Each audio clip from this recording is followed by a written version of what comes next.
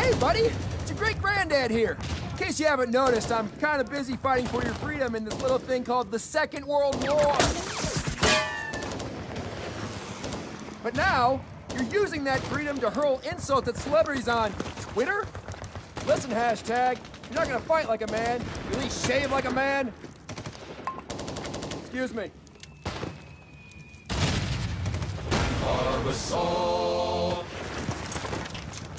Stop LOLing everything!